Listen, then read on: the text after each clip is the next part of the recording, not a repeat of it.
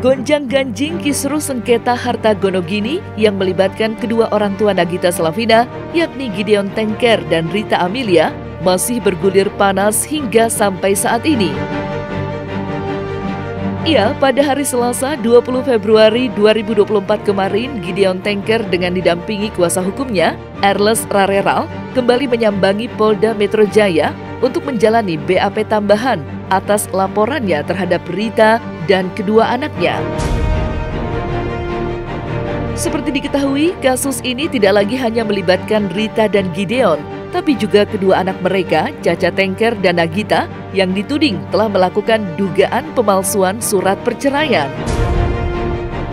Namun sayang, layaknya agenda pemeriksaan sebelumnya, Rita Amelia belum juga menunjukkan batang hidungnya dan hadir secara langsung memenuhi panggilan polisi. Aksi Rita yang lagi-lagi mangkir dari panggilan memancing kekecewaan mendalam dari Gideon Tengker yang begitu berharap dapat segera menyelesaikan permasalahan hukum mereka. Lantas, benarkah Rita Amelia akan dijemput paksa bila sekali lagi mangkir dari panggilan polisi? Om Gideon sudah menjalani proses BAP tambahan. Jadi untuk BAP sudah selesai. Pertanyaan itu Bahasa. pertama itu kan biasa sehat, nah, sehat biasalah itu wajib ya harus ditanyakan seperti itu. Kurang lebih 6 sampai 9 aja. Tapi itu kan hanya tambahan. Tambahan itu kan sebenarnya pertanyaan-pertanyaan yang sudah ditanyakan dan ada juga pertanyaan yang mungkin belum ditanyakan. Ya istilahnya masih menggali sebagai warga negara yang baik dan kami sebagai pelapor tentunya harus memenuhi undangan BAP tambahan. Mungkin seperti saya katakan tadi bahwa teman-teman penyidik masih merasa ada yang kurang ya atau perlu digali kembali. Dan kelihatan tadi memang benar ada yang terlepas ya atau belum ditanyakan pada kali.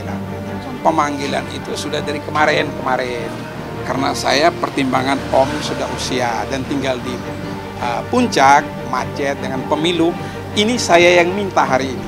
Saya yang minta sementara teman-teman Polda itu sebenarnya sebelum pemilu.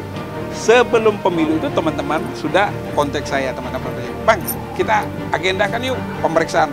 Saya saya tanya Om Om bilang aduh gue capek. Gue udah usia saya akhirnya tahu dan teman-teman bahwa tolong dibantu. Oh siap bang. Kita uh, tunggu dari abang aja kalau om sudah siap.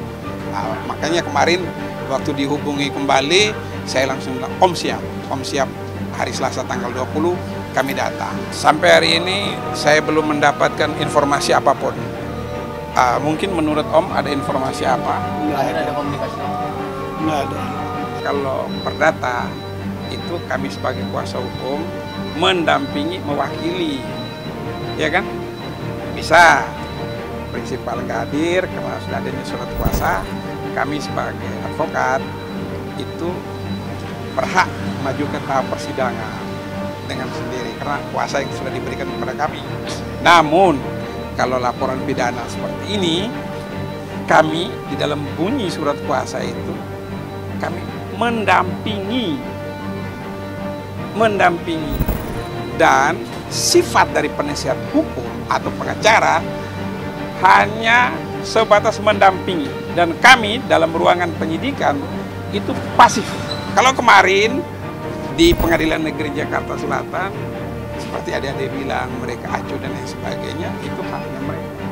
Tapi kali ini di Polda siapa pun siapa pun dipanggil dengan patut tidak hadir dua kali kali yang ketiga jemput siapa pun ah Sekelas ketua KPK aja dipanggil datang dan tersangka di Polda Metro Jaya, apalagi yang lain.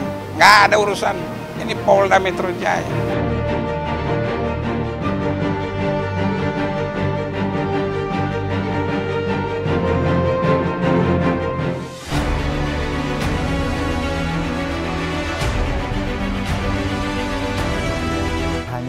Sekedar media konten. Kalau salah ya salah.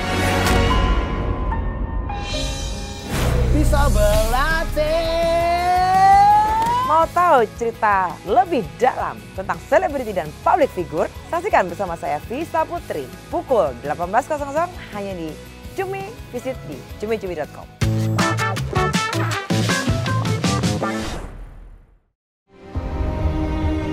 Kasus ancaman pidana yang kini menghantui Rita Amelia dan kedua anaknya yakni Caca Tengker dan Nagita Slavina sendiri bermula dari laporan yang diajukan Gideon pada bulan Januari 2024 silam. Keputusan itu diambil Gideon sebagai bentuk luapan kekecewaannya atas aksi dugaan pemalsuan surat perceraian yang dilakukan mereka bertiga. Ia, menurut pengakuan Gideon, ia diminta menandatangani sebuah surat perceraian pada tahun 2021. Celakanya, proses perceraian mereka berdua telah rampung pada tahun 2017. Ya seputar surat itu. Jadi masih seputar surat yang diduga kuat, diduga keras, yang dipakai di persidangan 2017. Namun surat tersebut dipakai, dibawa, diantar oleh Nagita, Slavina dan adiknya ke Om itu menurut pengakuan Om pada saya diantar tahun 2021 ya Om. Ya. 2021. Sementara cerainya tuh 2017. Itu yang Om sangat sangat sangat sangat menyayangkan. Tidak mengetahui. Diawali dari bujuk rayu bahwa papi papi selama ini minta harta. Kalau papi mau harta, papi tanda tangan ini. Untuk apa? Ah, ini yang nanti dibawa ke mami. Nanti mami lihat. Nanti kita yang ngurus semua. Tentang perceraian, semua itu kita yang ngurus. Nanti papi, papa dapat harta-hartanya papa. Nanti dibagi dua lah. Pokoknya kasarnya dibagi dua. Jadi saya tekankan di sini bahwa surat itu sudah sempurna, datang hanya Om tinggal tanda tangan. Jadi surat sudah dalam bentuk itu, sudah ada meterainya, semua sudah lengkap, hanya tinggal tanda tangan. Harapannya ya mohon didoakan agar cepat selesai diproses semuanya sesegera mungkin karena ya lebih, cepat lebih baik untuk semua ya.